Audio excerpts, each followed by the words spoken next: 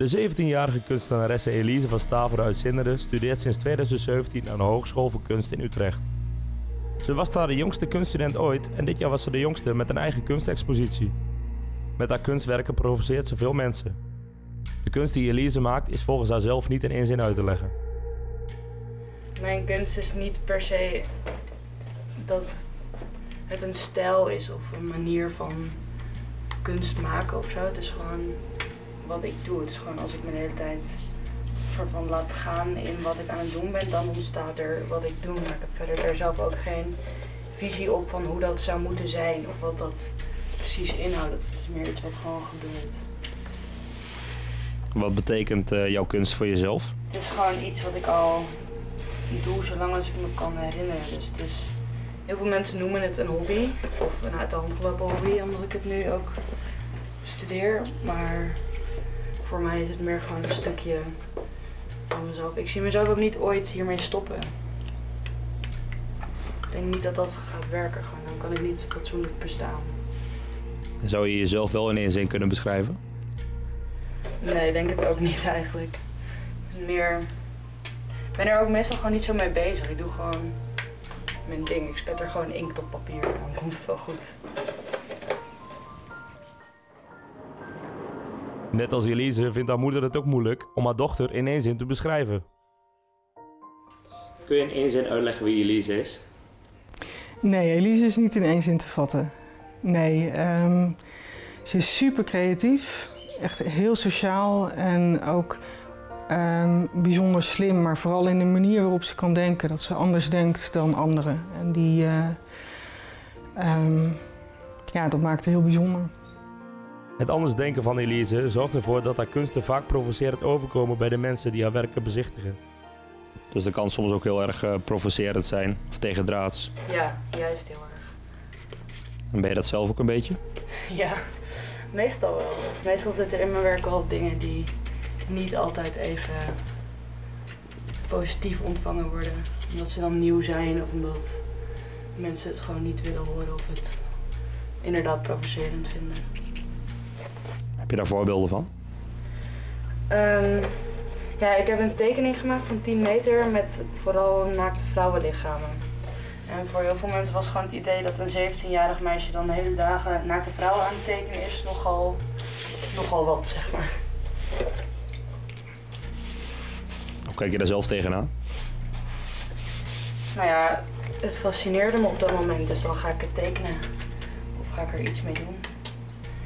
En als dat is wat er nodig is om een kunst tot een kunstwerk te komen, ja, dan is dat wat er gaat gebeuren. Ondanks de jonge leeftijd van Elise vindt haar moeder het niet erg dat haar dochter naakt gebruikt in de werken die ze maakt. Ja, ik vind het wel grappig. Ik kom maar zelf uit de jaren 70 natuurlijk, waarin dat heel erg uh, nieuw was, dat je dat soort dingen deed. En super chockerend. En voor mij voelde het dus minder chockerend, denk ik, dan voor een hoop andere kijkers. En ik vind naakt is voor mij ook kwetsbaar en is, is ook uh, puur, zeg maar. Dus er zit veel meer. Voor mij is naakt niet per se een seksueel ding. Ook niet. Uh, um, ik heb ook het idee dat jij het steeds vervormt naar. Uh, ja, ik teken niet. Of ik schilder niet realistische nee. lichamen. Het is niet gewoon werkelijkheid. Nee, en ik vind dat ene filmpje van jou. Um, uh, wat zo'n discussie opriep bij je expo. Ja. Dat vond ik zelf echt heel ontroerend. Ja. Omdat het zo uh, ook een soort de platheid van naakt en, en uh, weergeeft, zeg maar. Dus dat was interessant om te merken hoeveel weerstand het opriep. Toen Elise 16 was, verliet ze het ouderlijke huis om te gaan wonen in Utrecht, waar ze ook studeert. En je bent al op jonge leeftijd naar, uh, naar Utrecht gegaan, naar de grote stad. Hoe was dat? Nou, ik voelde me nooit zo jong al. Dus het was voor mij niet van dat ik op jonge leeftijd al daarin ging. Zo ervaarde ik dat niet. Maar het was wel gewoon, ik moest wel ineens uit huis. En dat soort dingen. Dus dat was wel even een overgang. Maar het ging eigenlijk best wel gewoon prima de hele tijd. Hoe was dat voor de mensen thuis dat je het huis uit ging? Wel oké, okay, volgens mij. Het was gewoon op een gegeven moment was het wel duidelijk dat dat er een beetje aan zat te komen. Mijn vader had het er wel een beetje moeilijk mee. Maar mijn moeder niet per se. En mis je haar als ze in Utrecht is?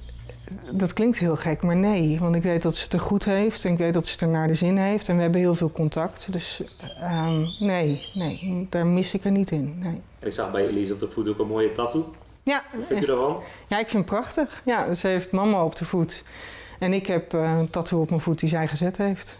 Dus eh, dat is wel ook bijzonder. Ja. De band tussen moeder en dochter is heel sterk, maar desondanks durft haar moeder niet te vertellen waar Elise over 10 jaar is. En waar denk je dat we Elise over tien jaar zien?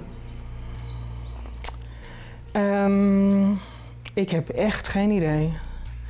Wat je in het begin vroeg van hoe omschrijf je Elise, in ieder geval is onvoorspelbaar. Eh, een inhoudelijke studie aan het doen tot eh, kunst maken in het Caribisch gebied. Ik heb echt geen idee. En waar zie je jezelf over pak een beetje tien jaar? Ehm,